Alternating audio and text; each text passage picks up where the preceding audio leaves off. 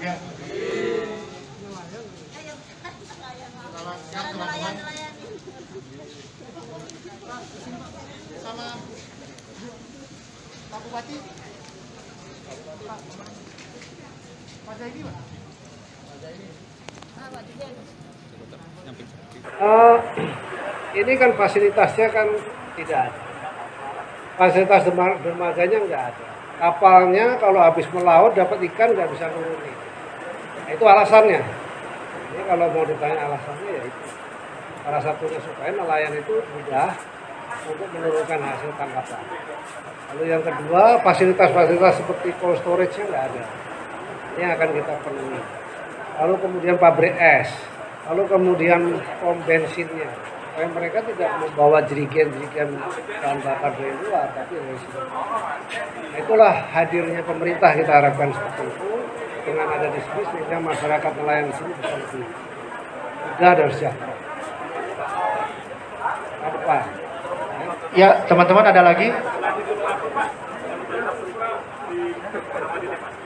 Jadi ini satu eh, spot yang kita sebut sebagai satu spot nelayan tradisional yang akan kita berdayakan. Tapi wilayah ini, wilayah selatan, mulai dari Aceh sampai dengan Kupang, itu kita sebut sebagai wilayah pengelolaan terukur zona 4. Nanti akan kita kembangkan kampung-kampung nelayan seperti yang ini. Nanti mudah-mudahan tahun akhir tahun depan sudah bisa berhasil untuk jadi semua. Kita datang lagi ke sini. Nah, hal seperti ini akan kita eh, lakukan di tempat-tempat lain di jalur selatan dari zona jelas-jelas kan dermaga mas pelabuhan. Soalnya soalnya kita utamanya saya yang punya kapal besar itu susah mas.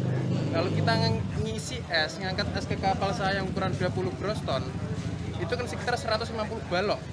Kita harus eh, istilahnya ngunjal ke kapal kecil ke kapal kita yang besar itu.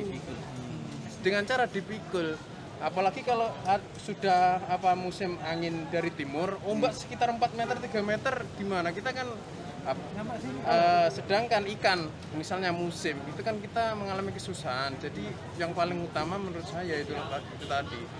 Dibangunkan ya istilahnya pelabuhan lah untuk merapatkan kapal kita ke darat. Kalau membawa hasil tangkapan biasanya gimana? Eh, sementara ini kita itu pakai apa istilahnya diunjal pakai kapal kecil, kecil, kapal sama kecil. kecil itu Jumlah nelayan di sini ada berapa sih, Pak?